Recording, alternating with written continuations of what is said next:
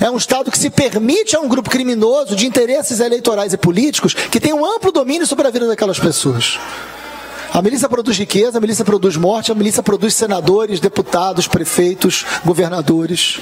Tem um potencial eleitoral muito grande. O território dominado pela milícia hoje é maior do que o território dominado pelo tráfico no Rio de Janeiro. Bem maior.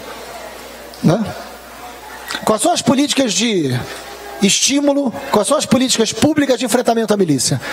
E aí eu termino dizendo: Sérgio Moro está se pronunciando sistematicamente pela federalização do crime da Marielle. Gostaria que ele se pronunciasse sobre a federalização da investigação sobre as milícias e começasse dizendo onde é que está o capitão Adriano que trabalhou a sua família no gabinete do Flávio Bolsonaro.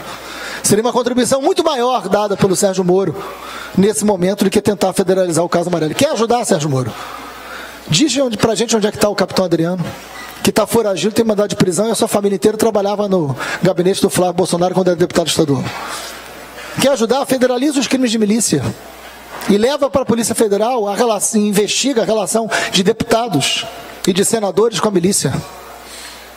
Aí você contribui. Aí, se você quiser federalizar, federalizar isso, eu apoio.